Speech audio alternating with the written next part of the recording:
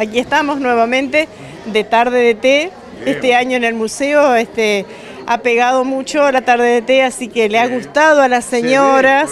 sí, está colmado de, de, puras costureras, que realmente artistas con las manos. Y lo que le decía hoy, que es tan terapéutico también, lo mismo como el arte de tejer con las manos.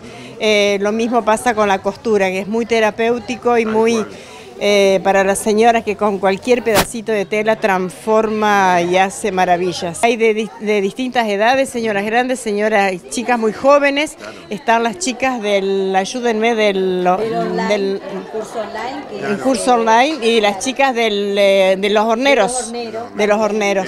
La Juanita que confecciona. Y también marcar un poco esta actividad que también viene muy de nuestras abuelas, ¿viste? Porque ya sea la lana y la costura, porque la, abuela, la, ama de casa, era, hacía todo. Tenemos también hasta azúcar casero hoy, ¿viste? Ya hay que probar todo.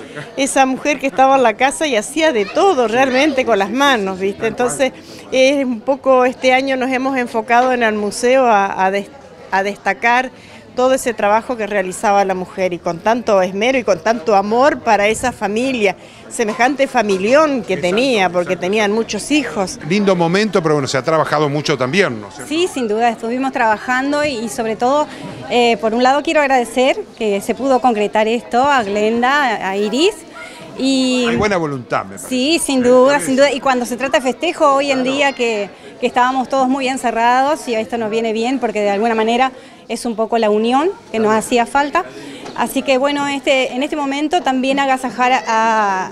Nosotras somos las profesoras y bueno, de alguna manera eh, creo que se merece el nombramiento de Norma, Norma Lambridge, que hace tantos años que está al frente de la academia y bueno, de alguna manera hacerle honor antes que se jubile, ¿no?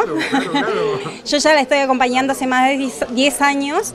Y bueno, estamos al frente de la academia y, con muchas alumnas que han pasado y siguen pasando y gracias a Dios eh, siempre es muy em, demandado el tema de la costura porque es, una herramienta que increíble, fundamental en la, vida de la mujer, sin duda.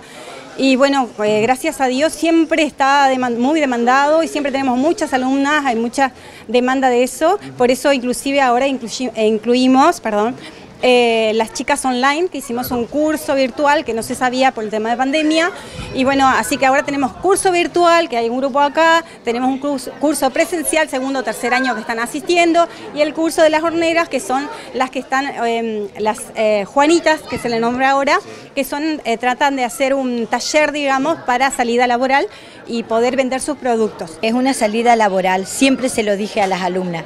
Al pasar de los años, porque ya voy a cumplir 37 años, en la academia. Y siempre les digo, eh, el saber coser eh, es muy útil para la casa, pero es una salida laboral también. no se olvida nunca el conocimiento, vos agarrás hoy una máquina y la agarrás dentro de 20 años y vas a seguir... Y se aprende, todos los días se sigue aprendiendo, se sigue perfeccionando y aprendiendo. Y bueno, eh, la verdad que estoy súper feliz porque esta propuesta se le hice a Glenda y ella estuvo de acuerdo, le encantó y Iris nos apoyó también, también le gustó. En realidad yo vi la tarde de, de las tejedoras y me picó la envidia.